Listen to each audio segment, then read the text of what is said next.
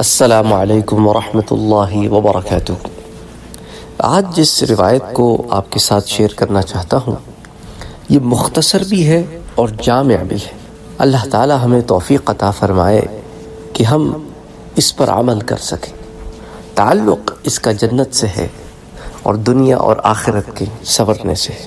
حضرت عبادہ بن سامت رضی اللہ تعالی عنہ سے روایت ہے کہ حضور اکرم صلی اللہ علیہ وآلہ وسلم نے ارشاد فرمایا، تم مجھے چھ چیزوں کی ضمانت دے دو، میں تمہیں جنت کی ضمانت دیتا ہوں۔ وہ چیزیں کیا ہیں؟ نمبر ایک، جب بولو تو سچ بولو۔ اللہ اکبر۔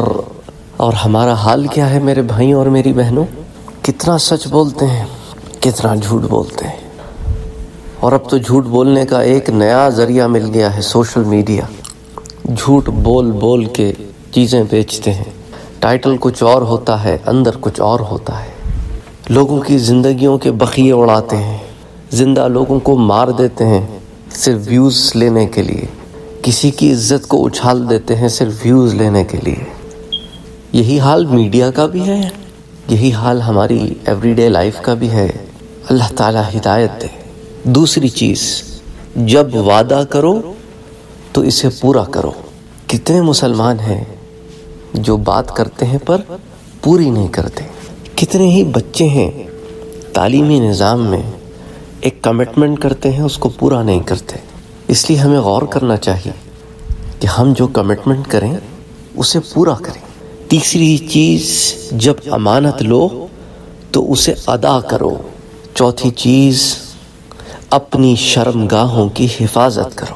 پانچویں چیز، اپنی نگاہیں نیچی رکھا کرو۔ اور چھٹی چیز، اپنے ہاتھوں کو روکے رکھو۔ یعنی کہ تمہارے ہاتھ سے بھی کسی کو تکلیف نہ پہنچے۔ تمہاری زبان سے بھی کسی کو تکلیف نہ پہنچے۔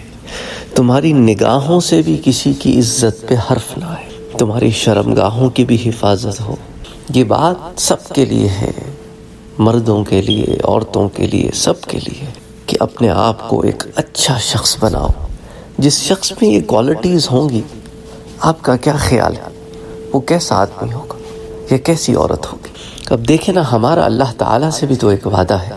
لا الہ الا اللہ، محمد رسول اللہ۔ اس وعدے کو پورا کریں۔ یہ بھی تو اسی حدیث کا حصہ ہے نا کہ وعدوں کو پورا کرو۔ ہم نے ایک عہد و پیمان اپنے رب سے کیا تھا نا، عالم ارواح میں۔ جب رب نے پوچھا تھا الستو بربکم کیا میں تمہارا رب نہیں ہوں؟ قالو بلا، ہم سب نے کہا تھا کہ بے شک تو ہی ہمارا رب ہے۔ پھر اس وعدے کو نبھانا بھی ہمارا فرض ہے۔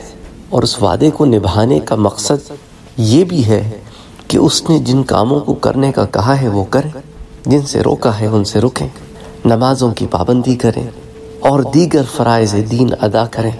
حقوق العباد کا خیال رکھیں۔ اپنی زندگی کے معاملات کو اچھا رکھیں۔ اللہ اکبر اللہ اکبر، کتنی خوبصورت، کتنی پیاری بات۔ میرے آقا محمد مصطفیٰ صلی اللہ علیہ وآلہ وسلم نے ارشاد فرمائی۔ یہ روایت درجہ صحیح کی روایت ہے۔ اسے ابن حبان نے الصحیح میں روایت کیا ہے۔ کتاب البر والصلہ والاحسان میں حدیث نمبر 271 جلد نمبر ایک، صفحہ 245 ایک اور روایت آتی ہے، وہ میں آپ سے انشاءاللہ تعالی کسی اور درس میں ذکر کروں گا کہ چھ اور چیزوں کا بھی ذکر ہے۔ ایک اور روایت میں چھ چیزوں کا ذکر ہے، ان میں سے بعض چیزیں اس روایت سے ملتی ہیں اور بعض چیزیں اس روایت سے مختلف ہیں۔ تو انشاءاللہ تعالی میں اس کو اگلے درس میں آپ سے شیئر کروں گا۔ السلام علیکم ورحمۃ اللہ وبرکاتہ۔ اگر آپ نے ابھی تک ہمارے چینل کو سبسکرائب نہیں کیا ہے تو سبسکرائب کا بٹن دبائیں، بیل کے آئیکن کو پریس کریں تاکہ آپ کو ریگولر نوٹیفیکیشن اپڈیٹ مل سکے اور آپ ہمیں ہمارے لائیو سیشنز میں بھی جوائن کر سکیں۔ ویڈیو پسند آنے کی صورت میں لائک شیئر اور کمنٹ کرنا نہ بھولیں۔